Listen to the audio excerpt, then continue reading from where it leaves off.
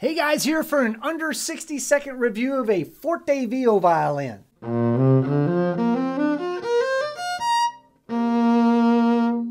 ForteVio violins are handmade in the UK, really, really beautiful instruments, like these a lot. They are super, super lightweight. They make their own pickups, they sound really, really nice.